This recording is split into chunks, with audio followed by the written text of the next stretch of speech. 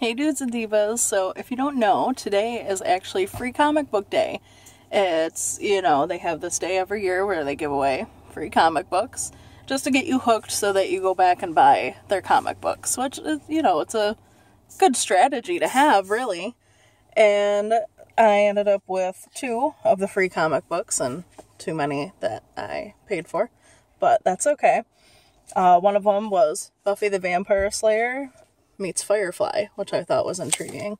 And then I also got the Avengers, so that was fun. And my comic book store was also giving away um, Year of the Villain. So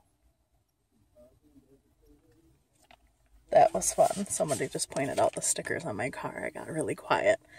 Anyway, and I also bought a graphic novel of Domino.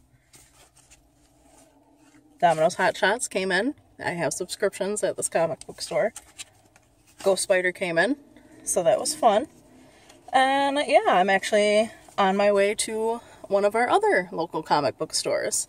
So yeah, go out, support comic book stores. They're very fun and important. It's where your movies come from. Those great Marvel movies. And maybe we'll have to have a talk about Endgame. And also, where have dudes and divas been? We've been busy, but I will get to that in another video. I just wanted to share free comic book day with you guys, and yeah, I hope you go out and find some comics that you like, because they're fun. They're nice, easy reads, and yeah, it's good if you're like me and don't have time for books anymore. I really wish I had time for books. Alright, I'll see you guys later. Stay tuned.